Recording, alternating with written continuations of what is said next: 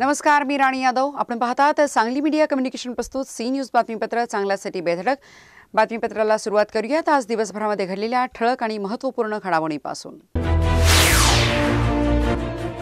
सांगलीमध्ये महापूर नुकसानीचं केंद्रीय पथक दाखल.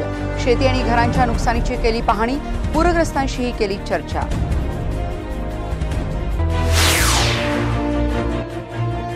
संतप्त पूरग्रस्तांचा बायपास रोडवर रास्ता रोको आंदोलन. अनुदान वाटपात दुजाभाव केला जात असल्याचा नागरिकांचा आरोप.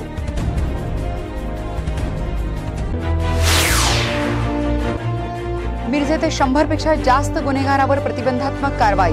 आगामी सण उत्सवाच्या पार्श्वभूमीवर कारवाई डीवायएसपी संदीप सिंग गिल यांची माहिती.